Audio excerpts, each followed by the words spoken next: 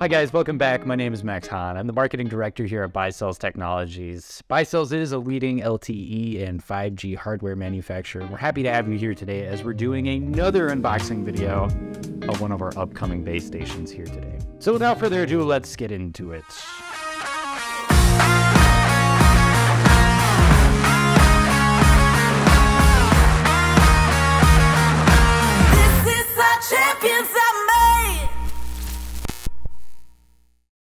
All right, we're back. So, this is the Nova 452. This is our latest 2.5 gigahertz spectrum radio. It is also our most powerful available for that spectrum. So, this is actually a 4x40 watt eNodeB. If you want to go the distance and need to go the distance, and you have a 2.5 gigahertz license, this is the unit for you. This unit does come integrated with HaloB, and it is available with our CA and DC keys as well. So CA stands for carrier aggregation. Now this base station comes with two carriers in it. With carrier aggregation, you can aggregate the two carriers here in order to increase your throughput. Now how that works is it allows you to take the spectrum of two non-adjacent channels and basically combine them into one, allowing you to expand your channel bandwidth. Now I'm simplifying that by quite a bit, but that gives you a general idea. If you run this unit in CA mode, you can get a download of up to 580 megabytes per second through this unit. So it is very fast. Now, when you're talking about DC, that stands for dual carrier. And what dual carrier allows you to do is take both of those carriers, right, and have them act as separate radios. Now you're essentially getting two radios for the price of one.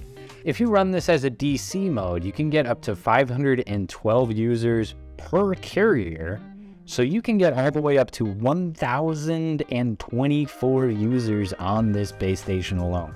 So this base station carries a ton of capacity, a ton of throughput as well. You can take different types of antennas. As you can see, this is a four port antenna. Let's take a look here at the antennas and I can further this ex explanation. We'll change the viewpoints. All right. So you can see that there are four antenna ports here, antenna 0, 1, 2, and 3. And you can hook up two two-port antennas onto this base station, have them facing in separate directions, and therefore improve your overall user capacity on this base station, even if they're in different areas um, using that type of configuration. Now we do have our last port over here, which is our GPS antenna port. We'll go over to the GPS antenna here as we unbox the rest of the materials, but that kind of covers your ports. Over here on the side then, we do have the area where you can get your power in here, and this is where your backhaul would go as well. If you've got a wired backhaul, that will come right up into here. This area is very weatherproof, so you don't have to worry about any moisture getting up in there um, and, and, that's where this is all housed. So it's it's a standalone unit. However, important to note about the Nova 452 is that this is actually one of our first base stations that can move from 4G to 5G with this base station. So this one can actually evolve into a 5G base station as it is.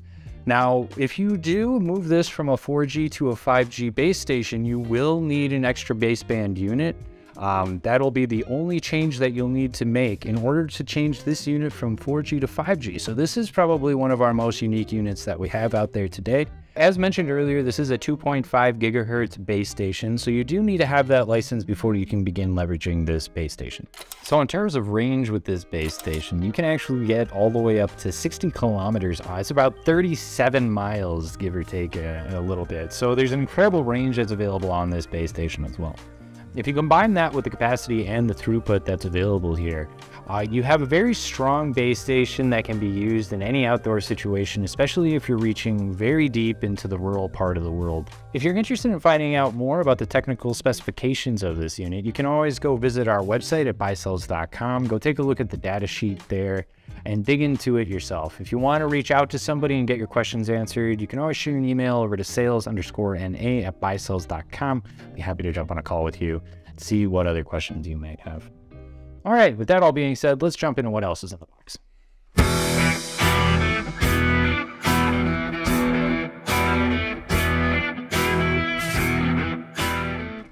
So this is everything that we've got in the box A little bit to unpack here. Let's get started. Um, so first off, let's take a look. This is our mounting bracket. Uh, it is a very sturdy piece of equipment. It's already pre-built for you, so all you need to do is unscrew this, get it around the part that you need to mount it on, which can be seen right here. That pole right there, you can get it mounted up on there, um, and just tighten down the bracket. Do a very good job holding your base station up there. All right, then we also have our shrink tubing. So this will go and just weatherproof your device itself. All you need to do is put this up around those ports and just pull down. If you need to find a tutorial on how to do that, there are plenty of videos online. Maybe you can learn a little bit more about that. Then let's move over here. So we have a couple of extenders. And then, um, so this green unit here, that is your little power supply along with a couple other pieces to help you ground the unit effectively. Always want to make sure that your units are grounded. And then we have these as well. So these are quite the hefty zip ties. You can have a little bit of difficulty seeing these with the background there.